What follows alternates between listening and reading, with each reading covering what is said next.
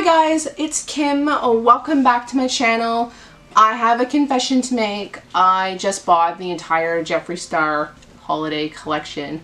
I don't have it all here. I bought it in pieces because initially I just got the Alien palette here and I bought the lipstick bundle and I also got one Velour liquid lip scrub. So what I thought I'd do for you today is a no BS review of what I have here and then I went a little ham after I tried this and I bought every lip ammo, every lip scrub.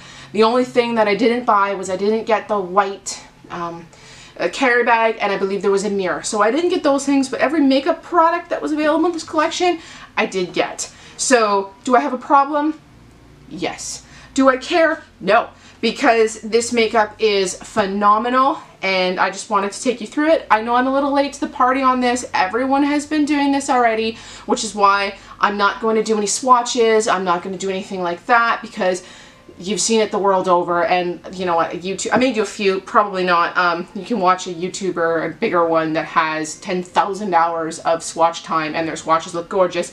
Mine do not. If you wanted to see uh, lipstick swatches and you're curious as to see what probably bad swatches look like you can check out my uh, Instagram. It is killer cupcake 2 and you can have a look at that. Yes I said killer cupcake with a 2 on the end of it and you can have a look at my um, probably bad swatches but these, if you do look at that swatch, these stain. Like these are quite pigmented. I, I swatched it here and I had, not that you can see it, but I actually had staining, I still do, um, for two days. I think I've had this for two days now. Uh, like I said, I'm a little late to the party, but I just got this. It took a while for me to get it, get down to my peel box, and it, it doesn't matter. Um, all that matters is I'm going to take you through, like I said, a no BS review. This is not me talking down about the makeup, nothing like that. This is just from one person's perspective and really this has nothing to do with the makeup. The quality of the makeup is phenomenal for the price point. You have to remember this is a $54 palette.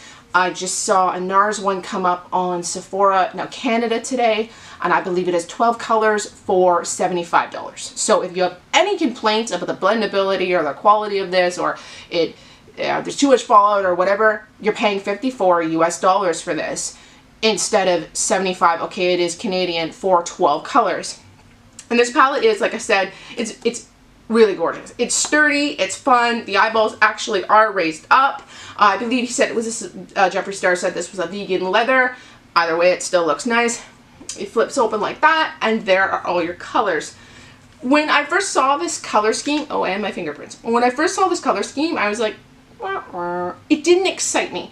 But when you get this wow, I, the ideas are just like, quite honestly, there's so many fun usable colors in here for me that it was just, I was blown away by it, to be honest. Black hole, I'm not likely, it's a, a true black. I'm not likely to use black hole just because I'm not someone that excels at wearing black makeup. I end up looking like a raccoon. So everything from black hole up, I could really work with. Um, I really like Titan, I like Gravity, and I like Phone Home and Flying Saucer. I I know it, some of you are probably like green makeup. Yes, I did a green makeup challenge with a friend of mine at a, a co previous coworker and she bet me I couldn't wear green makeup and I wore some green makeup. So with this, let's just close this again. For me, this is a heavy, heavy palette. I'm not wearing any of this makeup today because I took a look at myself at 5 a.m. when I woke up and I was just like, not doing it. I picked this up and I'm just like, oh, like it's too heavy. Like this, it's heavy, heavy palette. In my opinion, it's not the lightest. So if you, someone like me that likes to hold up their palettes when they're doing stuff, it's sort of like, can't, no, uh, just put it down. I mean, I'm whining, but like, seriously, just put it on the counter. That's no reason to not buy the makeup or complain about it.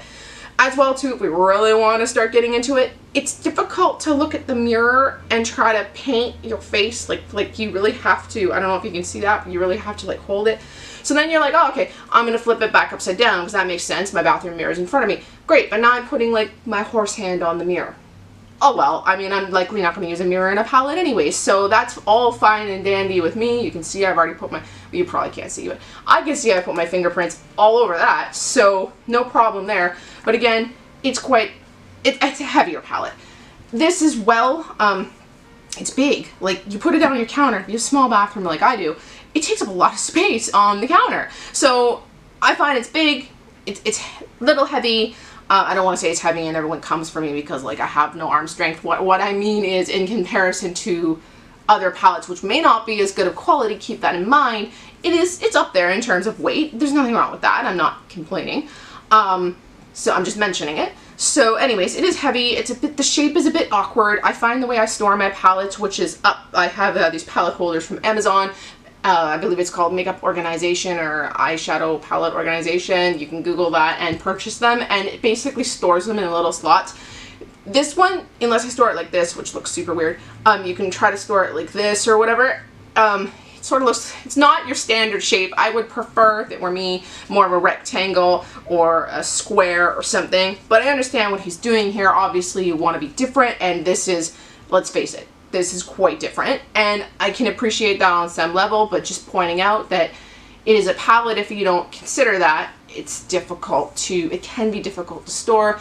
Quite honestly, I didn't think of it till I got it, and I went to put it in my collection. The rest of the Jeffree Star palettes, I'm like, oh, so it just looks a little odd. I mean, it just sits there and it kind of like alien head on the side. No big deal. Uh, so if we go back in here, like I said, you know what? Maybe I will grab one swatch. I'm to do Flying Saucer. And this is like an intense green. And again, y'all have seen the world over people that have countless hours of swatching power. Like, look at that. That's terrible. But my point is, you can build this. This is not, you know, that's totally buildable. So you have to do a couple little extra building, uh, a couple extra strokes or whatever. Again, $54 price point, and I mean, it might even be less. I believe it was $54. You can't go wrong. Like, you just cannot. There's not a lot of fallout, I don't find. I find the quality eyeshadows for the price point, the blendability is just amazing. So, those are just my, I guess, point outs to you guys in terms of weight, size. It's awkward, but let's face it, I will deal with all that if I get good product inside for a price point that is fair, and you really do get that with this palette. So now we move on to the Velour Liquid, liquid Lip Scrub.